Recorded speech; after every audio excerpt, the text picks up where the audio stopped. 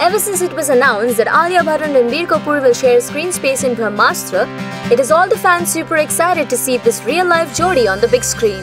Turns out, it's not just the fans but Alia herself wanted to see this collaboration. In a recent interview, the Raazi star opened up about sharing space with Ranbir. She said, I've always loved Ranbir as an actor. He's just so fabulous on screen. He's powerful yet so honest and complete.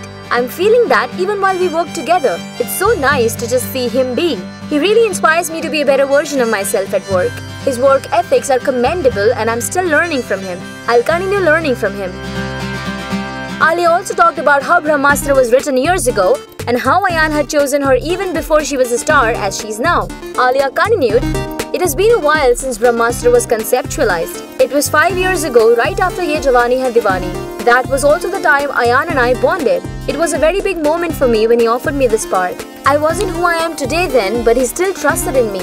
I've always felt that when Ranbir and I come together, it has to be magical, and literally it can't get more magical than this. I'm saying all this with great hope and not being pompous about it. We are working very hard towards that. For now, it has been a very mixed 2019 for Alia.